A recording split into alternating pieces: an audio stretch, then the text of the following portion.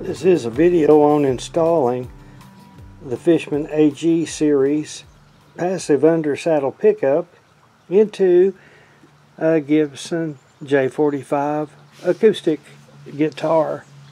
Now with the AG series I purchased the uh, Pro AG 1-125 the guy that sold it to me said uh, you can bring it back and swap it for a, a smaller one if you need to.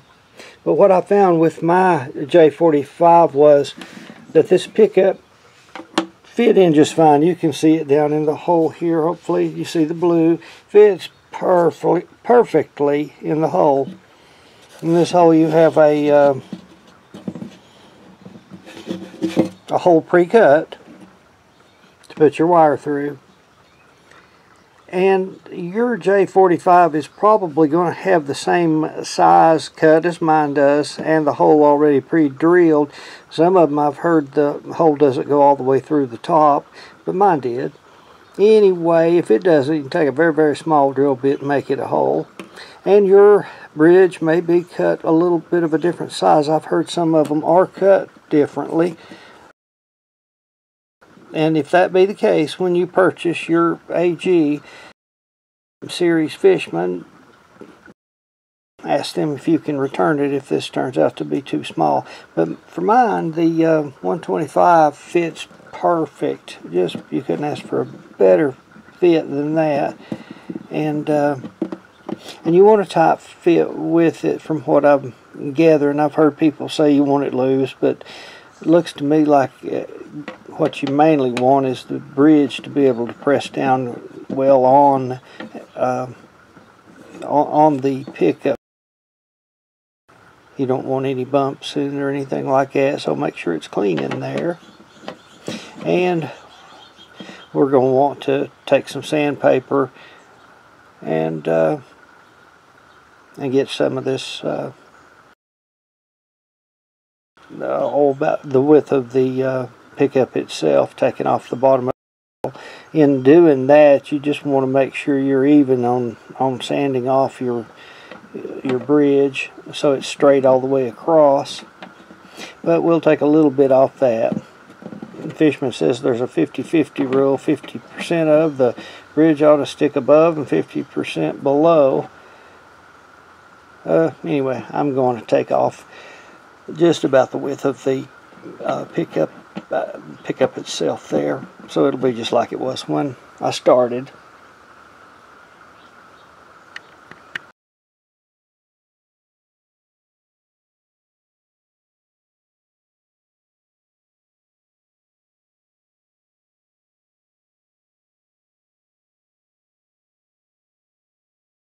As you can see I've taken my strings off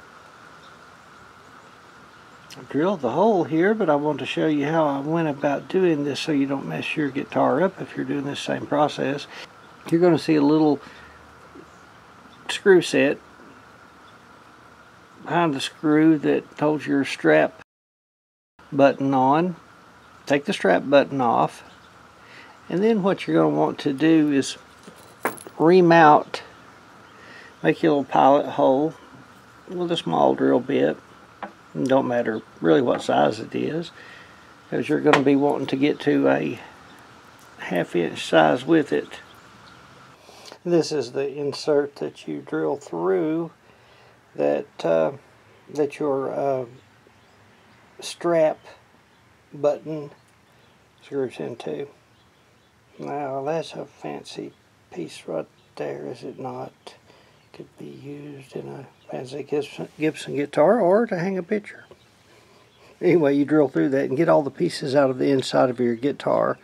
After you drill you a little pilot hole in there, then you're going to want probably your best bet's one of these because this is really bad about chipping out around in this area right here if you just use a regular drill bit. What you'd want to do is next after drilling a little pilot hole then go through that let this follow the pilot hole go in through that this is one half inch at its widest portion don't go in too far and get your drill uh, head against it but that's going to put you a clean end in this hole. And it's going to be fluted, you know, on back in there. Go in behind that hole with just a regular half inch bit like this.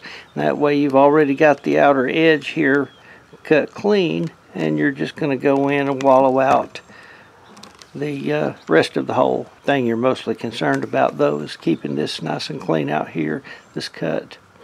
Um, cut all the way your piece you're going to be putting in is uh, obviously this. You found it in your package. What I'd like to do is kind of insert it backward and look through the hole. At least with the J45 you have a, a little hole in the top of it you can look through that uh, will allow you to see how far this is sticking out. You want it to, you want this portion, the smaller portion, to uh, stick out. It allows you some adjustment that you can make uh, as you go. But that there is what you're after. This is backward, obviously. It's going to come from the inside and poke out.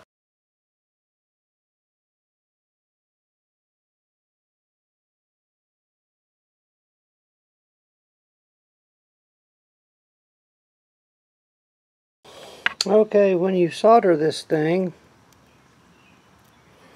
you're gonna, you can bend this back a little bit, be real careful with it, because I'll bet after two bends it'll probably break. But, you're gonna solder your wire with the insulation onto the very shortest pole in here.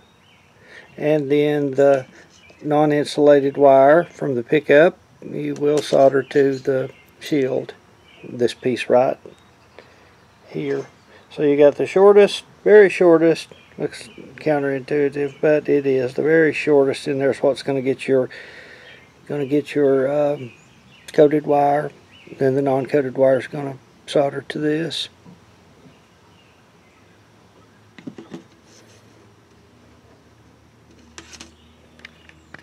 Before you go to soldering anything though, make sure that you put this piece on your wire before you start. That's the part that I generally forget on anything I'm working on. So we've got to put that on there first. Remember now, shortest shortest prong sticking out down in hidden down in here is going to get your insulated wire. When you're soldering with this stuff, if you've got any kind of a uh, rabbit ear spring that you can put back behind and keep you from melting your plastic too far back. Seems to work well anyway. Okay, let's start off with putting this screw to measure the inside of our guitar by going to the top of the nut and to the bottom of the shaft here. Okay, I'm estimating one inch from the tip to where I'm going to put the nut at to go back through this. That measures the width of your wood to go through. We'll try one inch and I'll let you know later in the video if it works. That'll be where you would place your nut at. And you might take an ink pen or I mean a magic marker and, and mark where the screw's at because it does move around a little bit. To pull this thing through I'm going to be using some just like you can get at your uh, I guess craft section at Walmart or something like that. Just going to go through these two. Oops. Go through these two holes. Or actually yeah I'll go through both of them. Like pull evenly just come back around to the front. You don't want to tie it tie it just a little bit of a wrap on it where it'll be out way. And just Yeah, you see what I did. I forgot to stick it through the hole before I before I tied it. Okay, so I measured one inch and then I put my washers onto the thing past the nut. That's one inch from there to the end of your cylinder. I've run this wire through the hole and I'm going to pull it through holding against this to level level it out as it goes through.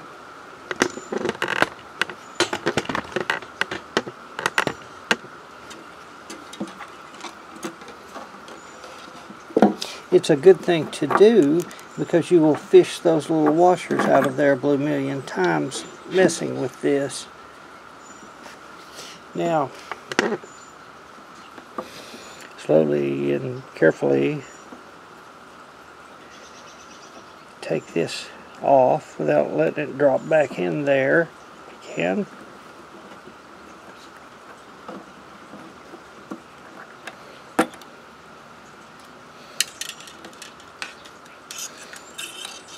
You're going to want to use the wire again to be able to kind of hold it there so you don't drop stuff down in there. Okay, now where did my washer go? Here they are.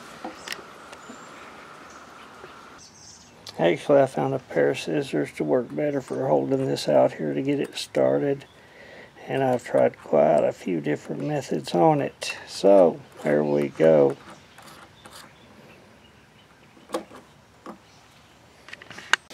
Once you get it started, use a nail through the little hole in it to tighten it. Hold it steady while you tighten it on down.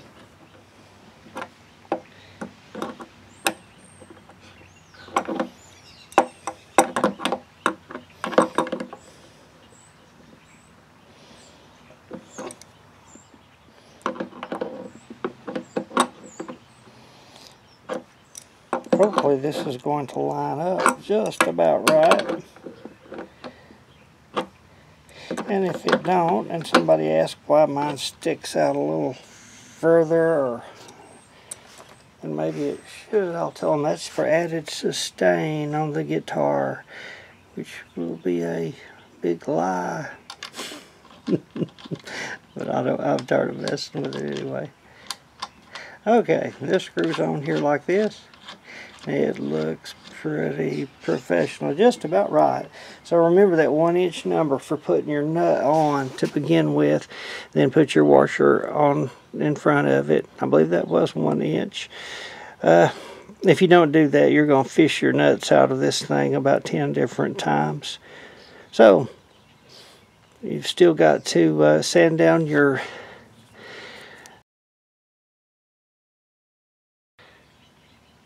Remember, take off just about the width of the pickup itself, probably a little less because that pickup's going to be compressed just a little. And uh, string it back up and it should be good to go.